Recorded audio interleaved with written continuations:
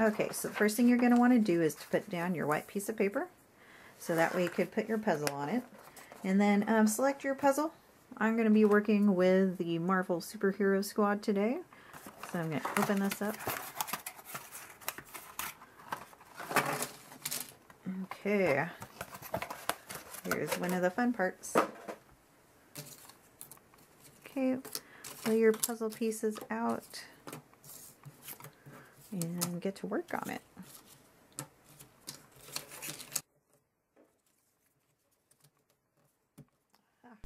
Once your puzzle is assembled, set up your drop cloth outside.